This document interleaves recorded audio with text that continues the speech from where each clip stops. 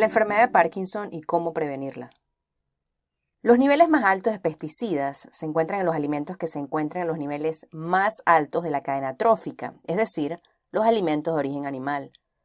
Las estimaciones son de que entre el 89% y el 99% de la ingesta de productos químicos en nuestro cuerpo proviene de nuestros alimentos, y la mayor parte de esto proviene de alimentos de la cadena alimenticia, carne, aves, huevos, pescado y productos lácteos. Hemos visto en videos anteriores que algunas especies marinas son fuentes especialmente importantes de productos químicos que dañan el cerebro, como los bifenilos policlorados o PCBs y el metilmercurio. Las personas reciben las dosis más fuertes, ya que están en el extremo superior de la cadena trófica. Aún peores son las consecuencias para los bebés, quienes se nutren de madres sobrecargadas de contaminantes. Y es sumamente importante entender que esta acumulación es de por vida, y por lo tanto lo que haces como niño te perseguirá como adulto en forma de defectos de nacimiento en tus hijos, cáncer y daño cerebral. Afortunadamente, comer una dieta limpia, me refiero a limpia de verdad, evita la exposición y ayuda a estos productos químicos a salir del cuerpo. La producción de dopamina en el cerebro puede ser reducida por una mala alimentación, pero puede ser mejorada cuando la dieta es alta en carbohidratos, y baja en proteínas animales. Los carbohidratos aumentan la producción de dopamina en el cerebro al permitir un paso más fácil del precursor de la dopamina, la tirosina, a través de la barrera hematoencefálica en los fluidos que rodean al sistema nervioso. Las carnes, aves, huevos y productos lácteos son altos en aminoácidos neutros que bloquean la entrada del precursor de la dopamina, la tirosina, en el cerebro. Ahora hablemos más en detalle sobre un químico en específico. Como está documentado en este libro, un mal lote de la llamada heroína sintética causó en días lo que parecía ser el estado avanzado de la enfermedad de Parkinson. Gracias a un químico contaminante llamado MPTP, hombres y mujeres jóvenes quedaron atrapados dentro de sus cuerpos, sufrieron de inmovilidad y rigidez casi completa, y en algunos casos podían únicamente mover sus ojos.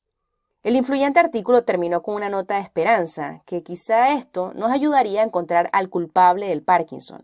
Quizá allá afuera hay una sustancia similar matando nuestras neuronas. Dado su similitud estructural con el MPTP, la atención giró hacia una clase de químicos llamados alcaloides betacarbolinas, como la armina. Y de hecho, altos niveles de estas toxinas se encuentran en el fluido cerebral de pacientes con Parkinson. Estas neurotoxinas betacarbolinas han estado implicadas en una cantidad de enfermedades humanas, aparte de la enfermedad de Parkinson, como por ejemplo el temblor, adicción y cáncer. El temblor esencial afecta a uno de cada 25 adultos mayores a los 40 y hasta uno de cada 5 en sus 90, haciéndola una de las enfermedades neurológicas más comunes. Además del potencialmente debilitante temblor de mano, pueden haber otras manifestaciones neuropsiquiátricas de la enfermedad, incluyendo dificultad al caminar y varios niveles de discapacidad cognitiva. ¿Podrían estar involucradas estas neurotoxinas beta-carbolinas? La armina está dentro de las más potentes neurotoxinas que producen temblores. Si expones a personas a este químico, desarrollan temblor. Si lo quitas, el temblor desaparece. Pero, ¿qué pasaría si estamos expuestos a él por mucho tiempo? Bueno, este estudio encontró que aquellos con temblor esencial tienen niveles mucho mayores de esta toxina en su torrente sanguíneo comparado a aquellos sin temblor. Los niveles más altos fueron encontrados en aquellos que tenían ambos, temblor esencial y cáncer, sugiriendo que la armina podría estar involucrada en ambas enfermedades. Y entre más altos los niveles de armina, peores son los temblores. Pero, ¿cómo se exponen las personas a estos químicos? principalmente a través de la carne, ya sea de vaca, pollo, cerdo o pescado. Entonces, si esta potente neurotoxina que produce temblor está concentrada en alimentos musculares cocinados, ¿está asociado al consumo de carne con un mayor riesgo de temblor esencial? Los hombres que comieron más carne en este estudio se encontró que eran 21 veces más propensos a padecer de temblor esencial.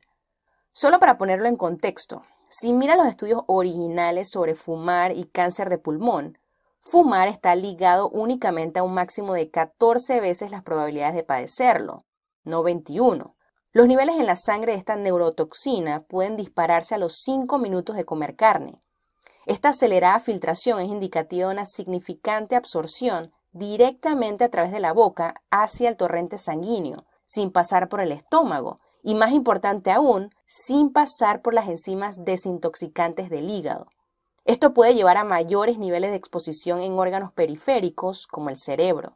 Debido a su gran solubilidad con la grasa, la armina se acumula en el tejido cerebral y usando un escaneo cerebral sofisticado, mayores niveles de armina son asociados a una disfunción metabólica más grande en los cerebros de los pacientes con temblor esencial.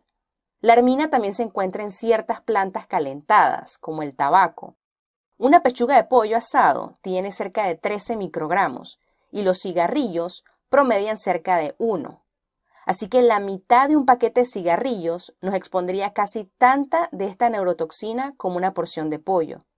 El salmón a la parrilla puede tener tanto como el pollo, aunque el cerdo frito parece ser el peor, y tampoco se debería comer renos o mariposas. La armina se crea cuando el tabaco es quemado y también cuando los granos de café son tostados, aunque el consumo de café no ha sido aún ligado a mayor riesgo. Entonces resumamos. Las cuatro cosas que podemos hacer para reducir el riesgo de desarrollar la enfermedad de Parkinson son hacer ejercicios todos los días, comer una dieta alta en carbohidratos no refinados, sin animales, evitar los pesticidas al comprar vegetales y frutas orgánicos y evitar ser golpeado en la cabeza, lo que significa que debes usar tu cinturón de seguridad y casco de bicicleta. Espero que hayas disfrutado otro video de plantaderevolution.com. Si fue así, dale me gusta, déjame un comentario, no olvides suscribirte al canal y hacer clic en la campanita para recibir notificaciones y así saber cuándo subo un video. Y recuerda, lo aquí presentado no es una opinión, es ciencia.